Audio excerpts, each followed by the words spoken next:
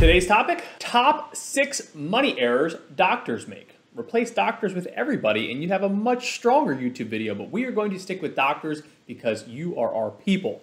We're going to walk through six big hitters. Who doesn't love a good errors video? But we got everything from mismanaging money to bad investments to divorce to inappropriate insurance. Stay tuned, it's all coming up next.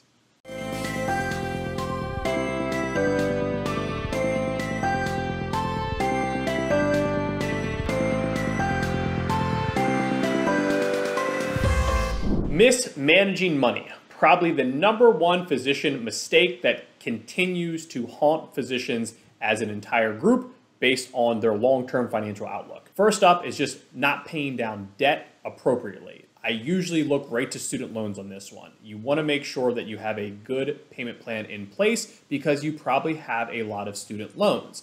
Now, if you're going for public service loan forgiveness, just make sure you're making the proper payments and on the proper track going forward. Lending money to family.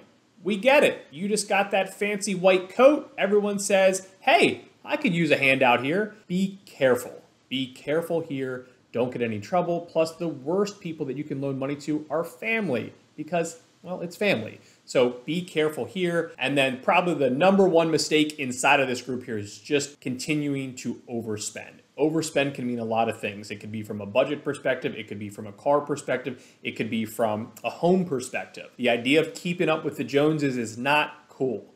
Be the middle class millionaire. Be the millionaire that no one knows is a millionaire because they drive the basic car, they have a nice home, but not an extravagant home, and they live within their means from a budget perspective. So, the number one money mistake we see quite often, or I should say, money error we see quite often from our physicians, is not managing their money appropriately. Skipping savings or really not saving enough. And the reason why this is a bigger error for physicians in particular is just because you get a later start. Physicians have a much longer training path that does not allow them to quote unquote make the big bucks till a little bit later. And that's likely when we finally can get caught up on our savings. So it's not as much skipping, it's not understanding that you're getting a late start, which is why we commonly always set a bar of at least 15%. Really, we will use 20% quite a bit as well. So understanding that you're getting a later start, so you got to play catch up a little bit here. But also, a lot of physicians don't want to work until they're 70. There is a not only a high burnout in the career, there's also a higher burnout later in the career where you just can't keep up at that pace, right? You can't be running through the hospital as a 70 year old. So we're trying to keep an eye on that as well. So between the late start and then not wanting to work until you're 70, increasing that savings ratio is going to be really important for our physicians.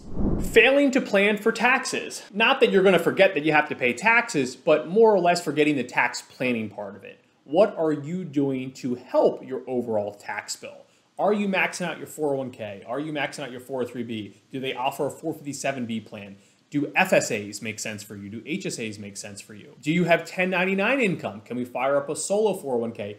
If you do have 1099 income, are you preparing to pay your quarterly taxes? So it's not the fear of not paying taxes, it's just not planning enough to lower your tax bill by following all the rules. So in this one in particular, make sure that you're working with not only a good financial advisor, but also a very good accountant as well, so that you have a good tax plan in place, not only for this year, but proactive forward looking tax planning as well. Divorce, easily one of the biggest errors we can make in terms of financial planning and really from a life perspective. You want to do everything you can do to avoid divorce. So, spending time on your relationship, spending time on date nights, these are all vital for your long term success, not only as a couple, but also for your long term financial plan. Divorce doesn't always have to be personal either. This could also come from the business side of it, which is why we always say whenever you're setting up a new business entity, you are having a contract review all the fine print. So it's not always just a personal divorce, it could also be a business divorce that could really throw a wrinkle into your long term plan. Most physicians are terrified of medical malpractice on losing a lot of their assets. I always make the joke you are going to probably lose half your assets a lot easier from divorce. Whether that is a personal divorce or a business divorce, make sure that you are investing time into both of those relationships because it is going to be vital to the long term success of your marriage, your business marriage, and your financial plan. Inadequate insurance coverage. Nobody cares about insurance until they need the insurance. So this is why you really need to be proactive with insurance planning. Disability insurance comes up high on our list, ensuring your income. Not only do we hope you have true own-occ coverage, but do you have the proper coverage in place? Are you making sure that you're supplementing that between what you have on your group plan, if you have a group plan? Do you have the proper life insurance in place? Life insurance is not going to benefit you at all, but it's going to certainly be vital for anyone that relies on your income. Uh, one of our other favorite insurance coverages is called umbrella insurance. Umbrella sits on top of your car, your auto, and your home for extra liability. Unfortunately, as a physician, you get an extra target on your back.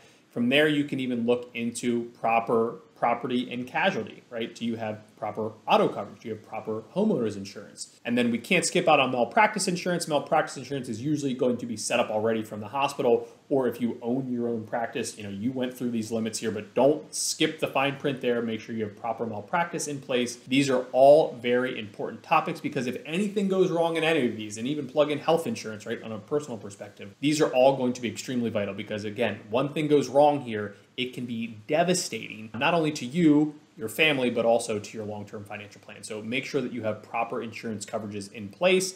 I know it's not exciting to pay those premiums, but if you ever need those policies, you're going to be very happy that you were paying those premiums. Investing without research. No, I'm not referring to timing the market and building the perfect portfolio. I'm actually more or less referring to the fees you pay. Understand what fees you're paying. If you went down the street to the local advisor shop because they had a commercial and you just signed up with them because they seem like they're good people, just understand what you pay. Before you know it, you could be paying an advisory fee, then you're paying for high cost mutual funds, and then you're paying for a platform fee. And all of a sudden, you do the math, you're paying 3% every year in fees for a one year check in where they look at some fancy papers, and then you don't talk to them again for another year. Maybe you do have all that in place, but you love this person, and that's okay. We just need you to understand what you're paying and what you're getting out of it. And if you compare those two and you're happy with that, that's fine. I'm not here to bash anyone's fee models because everything has a conflict in it. No matter how you look at it, there's always going to be some form of conflict. My key for this one is just when you start to invest and you start to work with a professional, or if you're doing this on your own, make sure you always understand your fees, whether it's from an advisor fee, whether it's from an investment fee, whether it's from a platform fee. Understand all the moving parts in terms of fees. And there you have it the top six money errors doctors make covered a little bit of everything inside of there from investing to insurance to divorce. The key is you are trying to avoid as many of these for as long as you can. That will give you a lot better success in your long term financial plan. So, thank you for tuning in with me. If you have not subscribed to the channel, now would be a great time to do that. And if you click on this little bell icon, you also get a notification every time we release a new video. Thanks again for tuning in, and I will catch you on the next video.